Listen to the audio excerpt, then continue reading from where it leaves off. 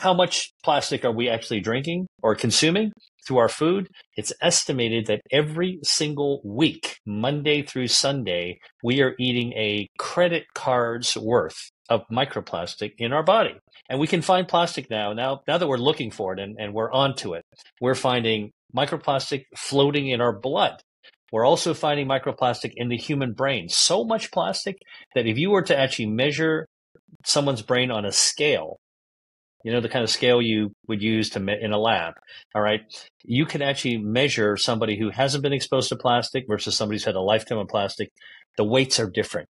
Finally, they're finding plastic in your testicles. They're finding plastic in human semen.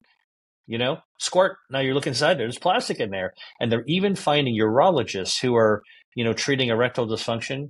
When they do the biopsy, they're finding plastic embedded in the tissue of the penis.